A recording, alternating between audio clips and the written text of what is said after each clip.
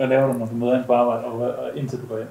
Indtil jeg går hjem. Ja, hele den dag. Ja, ja helt konkret. kaffe. Helt, Kaffepauser. helt konkret, så møder jeg ind klokken øh, 06, 40, 42. si- Nej. øhm, jamen, det, er jo, det er jo et svært spørgsmål, fordi det, det, det, det er jo ikke to dage, der ligner hinanden. Dag, Mia. Var mere. Hej Nå, Mia. er klokken 12, var Velkommen hid. Hej. Tak for sidst. Hej, tak for sidst. Hej, Mia. Det er godt at se dig. Lige. Nu, nu var det aldrig nogensinde sustainability og sådan noget. Jeg tænkte på, dengang jeg skulle vælge, hvad jeg ville være. Jeg havde jo altid gået med tanken om, at jeg skulle være læge, fordi det havde min mor altid skubbet mig hen imod.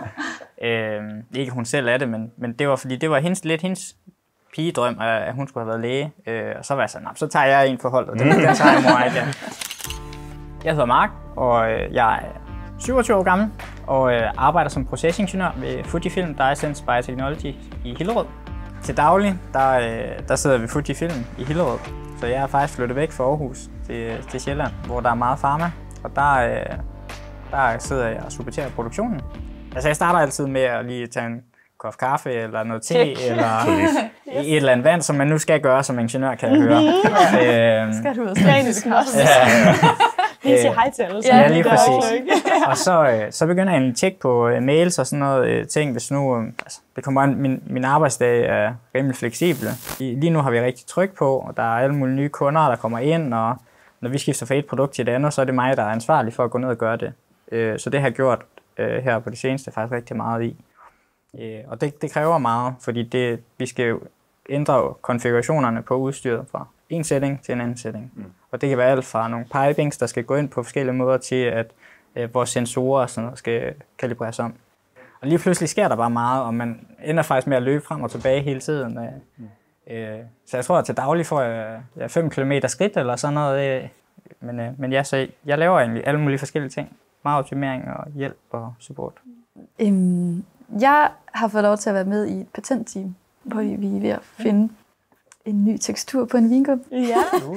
Øhm, og det, jeg kunne, altså, jeg havde ikke været der så længe, da vi ligesom var i gang med det her forsøg, og så kørte jeg jo lidt, jeg skulle overtage, og så gjorde vi noget. Jeg kan jo selvfølgelig ikke sige hvad. Nej, noget skete. Ja, noget skete. Og så kunne jeg bare mærke begejstring fra mine kollegaer, og jeg var sådan, Nå, okay, er det så fedt? Okay, det her det er fedt. Men så, man går bare sådan hver dag og sådan fuld af energi og bare sådan, det her, det bliver godt. I skal Bare vent til det kommer på markedet. Det er Ja. Jeg hedder Mia, og jeg er 29 år gammel og arbejder som konfektyrspecialist ved KMC Kartoffelmel Central i Brande. Jeg er specialist i konfektyr ved KMC i Brande Kartoffelmel Central, øhm, og jeg laver øh, slik, øh, hvor vi blandt andet erstatter gelatine med kartoffelstivelse. Øh, så kan man lave plantebaserede produkter, blandt andet.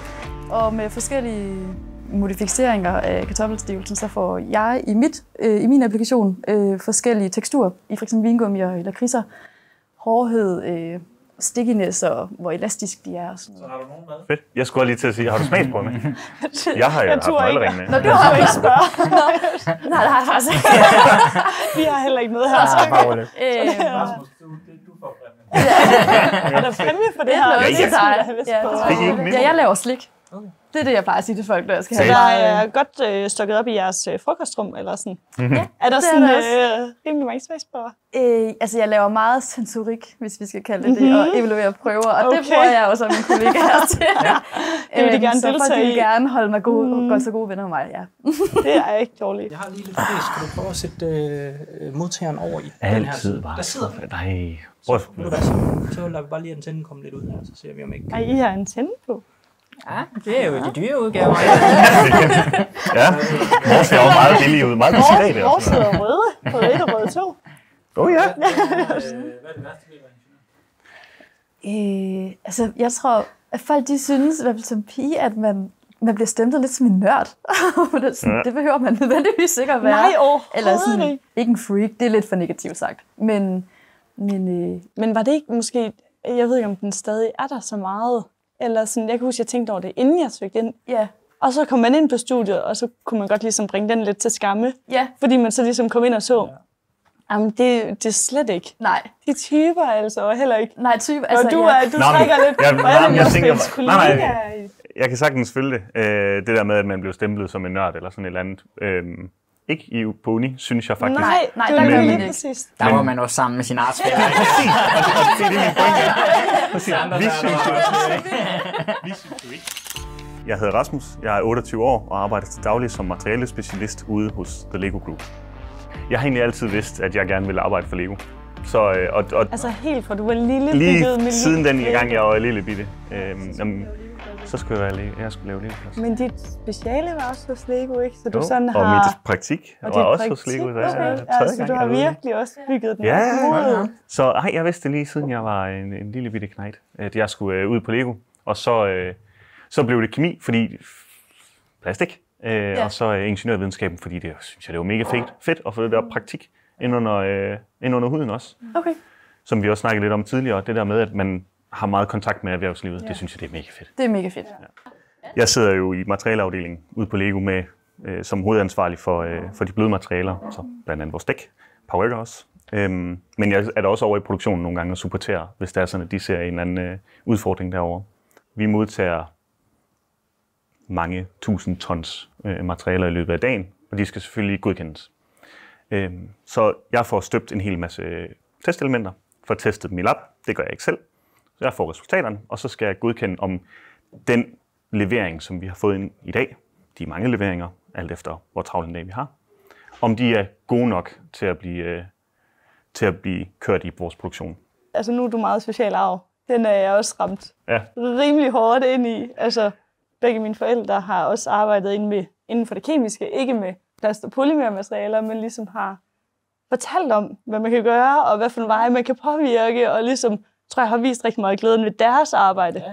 Og det har bare smittet. Og jeg tror virkelig, i vores teenageår, der var vi sådan, vi skal ikke den vej. Ja. Altså, vi skal overhovedet ikke den vej, Nej. og det, det dur slet ikke. Ikke som mor og far. Nej, Altså, nej, lige, gerne. lige præcis. Vi skal prøve noget andet, men Ja. så alligevel så... Mit navn det er Anne. Jeg er 28 år og arbejder som materiale- og procesingeniør hos Polytech.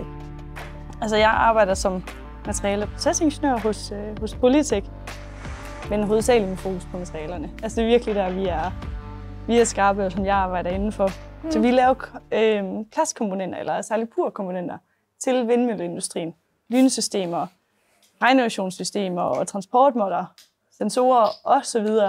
Og så er det første spørgsmål, der kommer altid, laver vindmøllevinger? mm, ja, ja. Og sådan, nej, ja, ja. vi beskytter vindmøllevingerne, eller vi tracker alt det, der sker, så de kan blive endnu bedre. Ja. Så det handler rigtig meget om øh, support til, til produktionen, men også ligesom test af nye materialer og øh, analysere risikoen for, når de kommer ud og hænge i de her vindmøllevinger, vi er under, underleverandør til, til vindmølleindustrien. Så test ekstremerne ved, hvordan de klarer sig ved 55 grader eller minus 40, eller hvis de kommer op vildt meget øh, fugt og varme på samme tid. Hvad gør det så, og hvordan kan vi sådan modvirke det? Så du har noget med selve kvalitetssikringen også at gøre, eller hvad? både med kvalitetssikringen og hvordan vi sådan ændrer i materialerne, for at vi kommer det rigtige sted hen til det, vi gerne vil nå. Så det er en del af det. Og så er der jo ekstremt meget sustainability og bæredygtighedstankegang indover. Og det synes jeg bare er mega fedt. Det synes jeg faktisk det er en rigtig god pointe, det der med, at man kan skubbe nogle agendaer, som man også selv personligt brænder for. Det der med sustainability, som jo er meget op Mm. og vende lige nu her, det er jo, altså for mig i hvert fald, mega fedt. Jeg tror, øh, jeg tror, vi har fået det, vi gerne vil have i dag. Fedt! Vi ser, det Så nu lavede Og vi det her det er jo lidt bøvlet, så når den sidder